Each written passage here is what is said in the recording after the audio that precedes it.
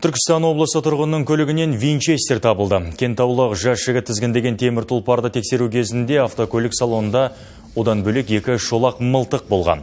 Кентай қаласының полиция қызметкерлері түнгі уақытта Мерседес маркалы автокөлікті күдік тудырған соң тоқтатқан. Жергілікті азаматтың үш бірдей атыс қаруын өзімен бірге алып жүруінің себебі анықталып жатыр.